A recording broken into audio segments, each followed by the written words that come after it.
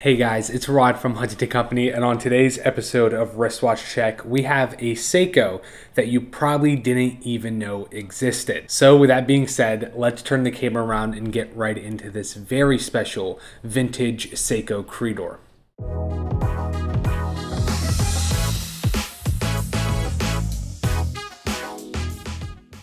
So on my wrist today is a Seiko Credor from 1981. This specific example is a twin quartz and the reference seen here is the 9461-5010. And as you can see, it's very Nautilus-esque from the wavy nautical dial to the shape of the case and even the integrated bracelet. But keep in mind, when it came to the brand Credor, during the late 70s and early 80s, there was a very special person who was commissioned to work with Credor for a given amount of time, and that was Gerald Genta, who ended up making the famous Seiko Credor locomotive that we now know as maybe one of the most collectible vintage Seikos in the market. This one is from the same era and takes in that same DNA and heritage of both Gerald Genta and these dress sports watches from this era featuring a quartz movement being the Credor upscale twin quartz and also a beautiful and comfortable small 36 millimeter sport-esque case and it is very Nautilus themed. The dial is beautiful in a champagne color with very minimal gold accents on the bezel of the case. In my opinion, this is what the Bulova Royal Oak is, but for Seiko. This is a great alternative, same as the Bulova Royal Oak for a fraction of the cost of the original Royal Oak,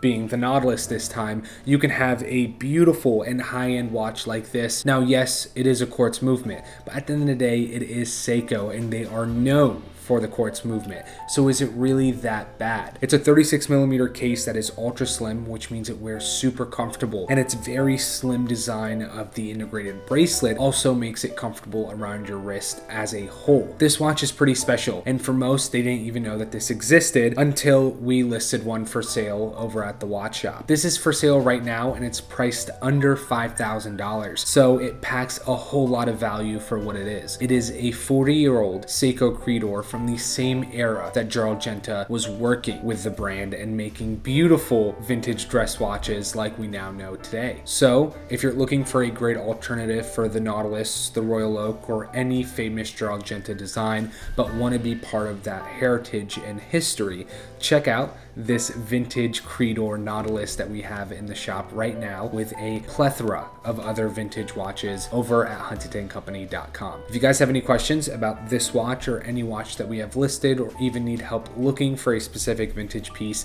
please feel free to reach out as always in the comments below um, on our website. You can contact us via email, on our Instagram, or even on Facebook. And as always, I will see you guys in the next one.